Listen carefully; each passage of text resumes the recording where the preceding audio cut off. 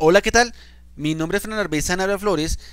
Hoy vamos a tener un pequeño video de una comparación que quisimos hacer correspondientes Debian y a CentOS en ambiente de servidores. Antes de iniciar con la comparación vamos a ver una tabla de uso de dichas distribuciones y vemos que efectivamente Ubuntu está en la cabeza. Ubuntu últimamente ha tenido un gran boom, un crecimiento exponencial correspondiente a instalaciones y despliegues en ambientes virtuales como es Azure, como es Amazon, como es OVH, etc. Estas instalaciones han hecho que Ubuntu cojan a la cabeza con respecto a Debian y Acentos y además de eso últimamente también Ubuntu ha hecho un gran merchandising, un gran mercadeo con sus instalaciones o con su sistema operativo para ambientes virtuales. No queremos decir que Debian y CentOS sea malo, solamente que pues el tema del mercado Ubuntu ha ha abarcado mucho más, pues obviamente con su publicidad, etcétera. Por parte de nosotros no apuntamos mucho a Ubuntu porque hemos tenido malas experiencias de Ubuntu con respecto a paqueterías.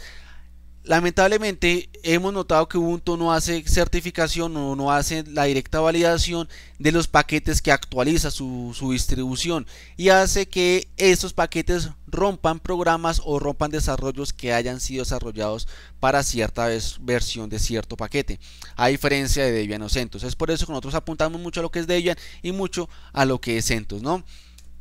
Ya entrando en materia, vemos una tabla o una pequeña tabla comparativa que quisimos hacer con respecto a Debian y con respecto a CentOS, en donde comparamos los controladores, las plataformas, la comunidad, la interfaz gráfica y la seguridad.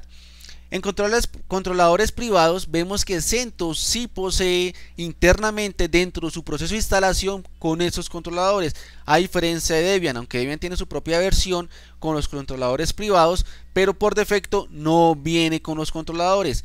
¿Qué pasa con esto? Que si nosotros tenemos un servidor nuevo, sea la marca que sea, es muy probable que con Debian requiera realizar la compilación de forma externa de los controladores y no deja proceder con la instalación haciendo un poco tedioso la instalación y haciendo un poco tediosa la configuración del Debian correspondiente. En cambio, CentOS al venir con esos paquetes, esos controladores privados, podemos realizar la instalación sin ningún tipo de problema en nuestros servidores físicos. ¿Vale? CentOS en en la cuestión de plataformas, CentOS solamente viene con 64 bits desde su última versión, la versión 7. En cambio, Debian tiene soporte para gran cantidad de plataformas o arquitecturas como 32 bits, 64 bits por PC ARM, que son las más características, haciendo que Debian pues obviamente tenga mayor cobertura en diferentes mercados para esa arquitectura. Así que si ustedes tienen un procesador ARM es mucho más recomendable por eh, compatibilidad que instalen Debian. En comunidad, por la misma cantidad de plataformas que soporta la comunidad en CentOS es un poco más baja que la que tenemos en Debian. En Debian, pues la comunidad es un poco más amplia correspondiente por la misma cantidad de arquitecturas que posee Debian o que soporta Debian directamente. La interfaz gráfica que se le puede instalar a ambas distribuciones es la misma, XFCE, KDE, Genome, eh, Cinnamon, etcétera, la que nosotros queramos instalar. En esas distribuciones la podemos instalar en ambas, ¿vale?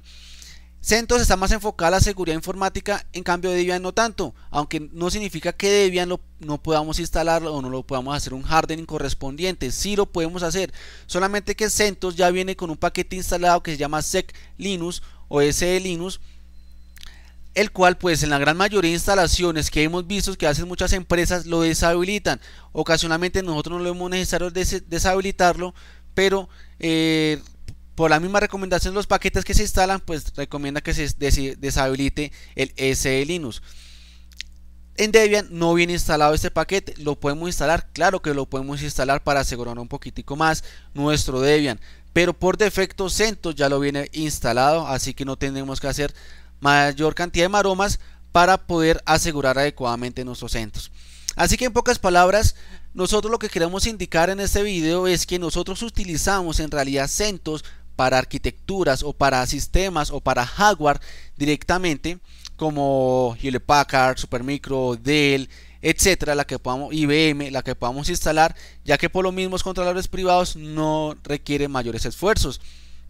En cambio Debian lo instalamos en máquinas virtuales, ya sea en un despliegue en Amazon, ya sea un despliegue en Azure, ya sea un despliegue en OVH, nosotros utilizamos Debian. Porque es mucho más fácil de configurar y pues me da la posibilidad de que yo instale lo que en realidad necesite. ¿Vale? CentOS pues viene con unos paquetes extra, aunque con su instalación minimal también lo puede hacer, pero sabemos que con CentOS eh, hay un mayor trabajo que a comparación de Debian, ¿no? Entonces, resumiéndolo nuevamente, Debian para máquinas virtuales en el aspecto Sujic la utilizamos para máquinas virtuales y CentOS para instalación a nivel de servidores físicos donde tengan controladoras RAID, donde tengan tarjetas de red de última tecnología, etcétera, que ya vengan con los controladores privados instalados, ¿vale?